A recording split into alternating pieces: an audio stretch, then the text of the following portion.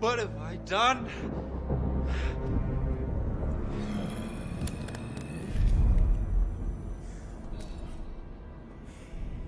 You're fulfilling your destiny, Anakin.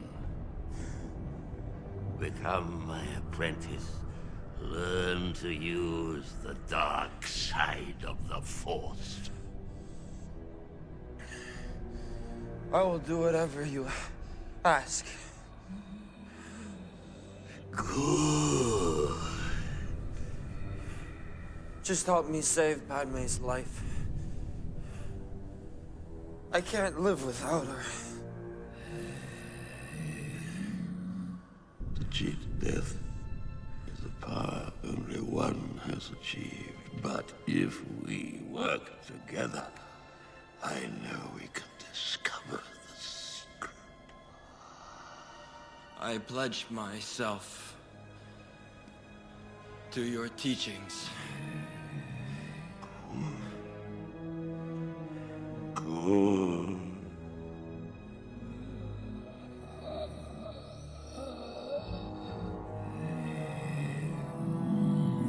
The Force is strong with you. A powerful Sith you will become. Henceforth, you shall be known as Darth Vader.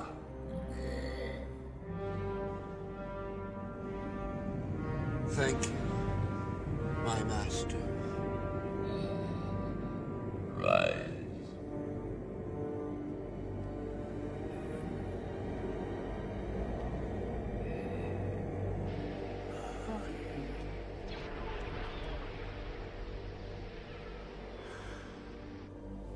Because the Council did not trust you, my young apprentice.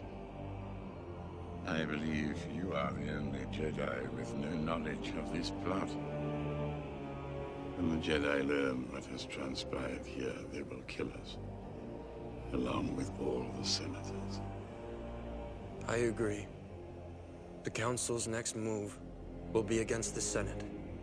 Every single Jedi, including our friend Obi-Wan Kenobi, is now an enemy of the Republic.